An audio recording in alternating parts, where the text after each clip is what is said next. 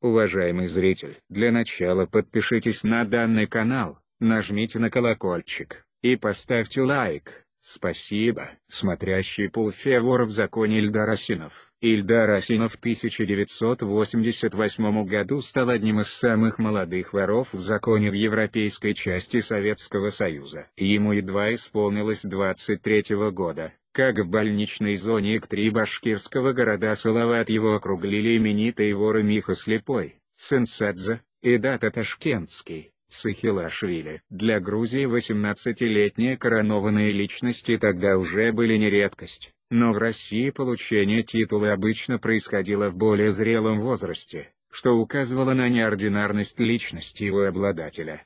Ильдар Асинов родился в Уфе, за что получил к имени приставку Уфимский. Криминальный мир Башкирии, как и везде, делился на два части. Синим противостояли спортсмены, предпочитавшие противопоставлению обществу и жизнь по особому закону, которому придерживались все живущие по понятиям, удачную ассимиляцию в легальном бизнесе.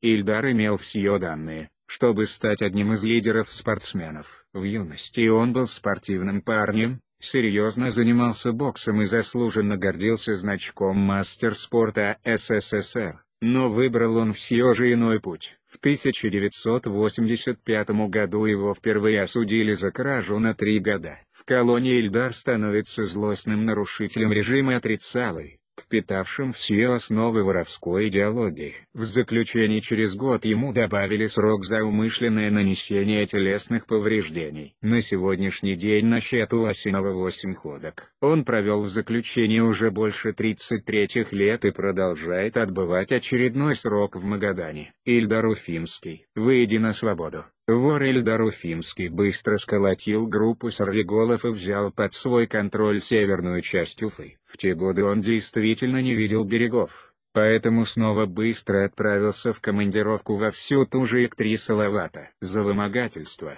хулиганство, угроза убийства и незаконное хранение огнестрельного оружия суд начислил ему 3,5 года заключения. По истечению этого срока, отдохнувший Ильдар, принялся устанавливать свою власть уже на всю Уфу. Ему противостояли пять групп спортсменов общей численностью более ста бойцов, возглавляемые авторитетами Гилязом, Костей Длинным, Флориком, Золотарем, Бультерьером и Нестером.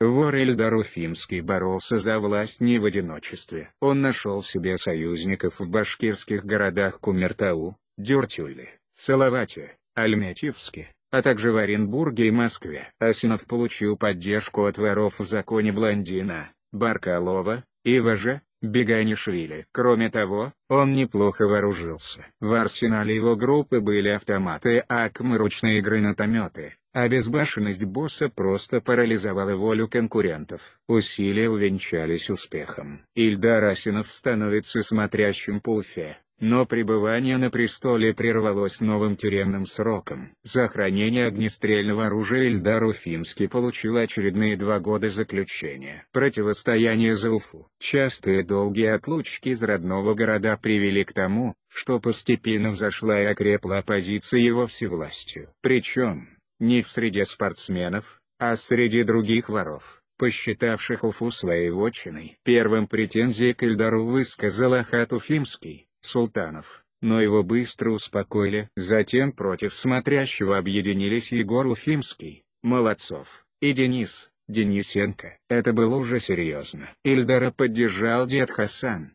Усаян, и все тот же авторитетный славянский вор-блондин. Первая атака воров-конкурентов была успешно отбита. Главной проблемой Ильдара Асинова со временем стали наркотики. Для настоящего вора ширяться непозволительно, но время диктует свои правила. Многие воры в законе, особенно южных кровей, со временем превратились в настоящих наркоманов. Смерть от овердоза стала такой же частой в их среде, как от пули или ножа. Даже крестный отец Ильдара Уфимского Вордата Ташкентский полностью разрушил наркотой свой некогда могучий организм. В 1997 году Ильдар ушел на зону по 228 статье. Вернувшись в 2000 году в Уфу, он обнаружил, что стремительно теряет авторитет. Его за глаза называли наркоманом и беспредельщиком. Был в его жизни эпизод, когда он похитил проститутку и за ее освобождение требовал 2000 долларов. Воры так не поступают. Раньше Ильдар Уфимский рьяно выступал за чистоту воровских рядов. Он лишил имени своего крестника Чапая, Чапайкина, сразу,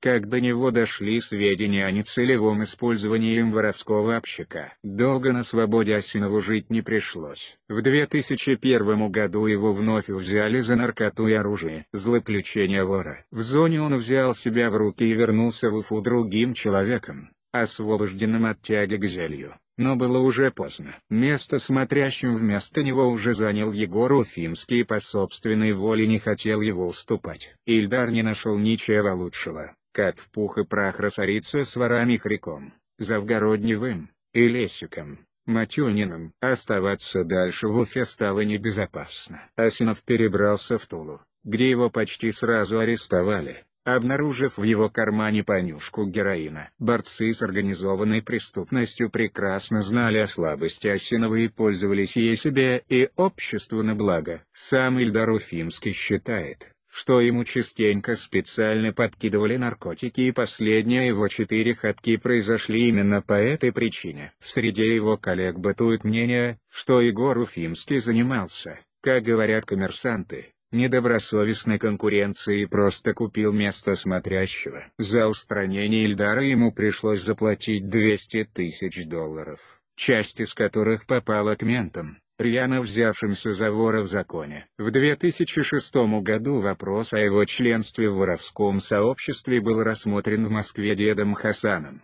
Егором Уфимским и Лесиком. Они приняли решение недостоин. Поводом послужили сведения о том, что Ильдар Асинов лично занялся торговлей героином. Барыжничество всегда строго осуждалось ворами, а торговля наркотиками тем более. Сам Ильдар, доказывая обоснованность высказанных претензий, перебравшись в Тулу, купил себе комфортабельную квартиру Гелик за 7 миллионов рублей. Прежняя скромность воров в законе давно стала легендой. Теперь многие из них проживают в настоящих дворцах. Подтверждением тому, что Осинов начал шиковать на наркорубле, стал его арест сотрудниками госнаркоконтроля. В его тульской квартире в бачке унитаза нашли 160 грамм героина. Суд не поверил подсудимому, утверждавшему, что он белым порошком не торговал, а хранил его для личного употребления. Ильдар Уфимский получил свой максимальный срок 12 лет. Подсластило ему горечь поражение известия о лишении воровских полномочий вора-врага Дениса. Из колонии в республике Мариэл Ильдар Уфимский обратился к ворам Робинзону, Арабуле, и Аксену Измайловскому, Аксенов, с просьбой разобраться в ставшем ему известном неблаговидном виде деятельности давнего недоброжелателя. Денис, будто профессиональный ростовщик, давал деньги под нехилые проценты, занимаясь откровенной коммерцией. Воры, рассмотрев вопрос, разделили возмущение уже разжалованного Ильдара Уфимского. Крот в воровском окружении. Наркотики помешали поменять Осинову приставку с Уфимский на Тульский. Едва освободившись, он вновь был задержан в Балашихе с метадоном. В октябре 2016 года его арестовали в деревне Юдином Тищинского района. Наслед навел крот, внедренный органами в его ближайшее окружение. Агент под прикрытием вошел в курс всех торговых операций и подал сигнал наркополицейским именно в тот момент, когда у Осинова в кармане лежало почти 6 грамм героина. К внушительному общему сроку пребывания в исправительных учреждениях добавились очередные шесть лет. Личность Ильдара Уфимского расколола уголовный мир на части. До сих пор многие уголовники считают его полноправным вором в законе. Сам Ильдар рассчитывал, что приговор может быть отменен шакракурдом, Калашов, вернувшимся из-за границы в Москву. Но этого не произошло, а сейчас сам Шакра надолго угодил за решетку. Сидит Асинов в Магадане на спецблоке, как и положено авторитетному вору. В короткие периоды пребывания на свободе Ильдар Уфимский встречался со многими знаковыми фигурами воровского мира. Он дружил с ныне покойным Валерой Сухумским, Силагадзе. Его часто видели вместе с Сашей Севером, Северовым. Друг Михаила Круга первым из воров согласился дать развернутое интервью на камеру, котором он подробно рассказал о своей жизни и взглядах. Многие воры посчитали этот поступок саморекламой и осудили его за это. До севера с журналистом разговаривал только патриарх грузинских воров в законе Гоги, Чайковни. В силу огромного уважения к его персоне высказывать упреки никому не пришло в голову. Ильдар Уфимский также решил увековечить свое имя встречи с журналистом. В 2013 году короткое интервью взял у него известный российский журналист Аркадий Мамонтов. По содержанию и продолжительности оно не идет в сравнении с почти трехчасовым монологом Саши Севера. На видео Ильдар Уфимский выглядел не совсем адекватным. Что делать? Экс-боксеру трудно тягаться в разговорном жанре с испещренным наколками любителем поэзии севером, и списавшим в заключение не одну толстенную тетрадь своими стихами. Подпишитесь на данный канал, нажмите на колокольчик, и поставьте лайк, спасибо.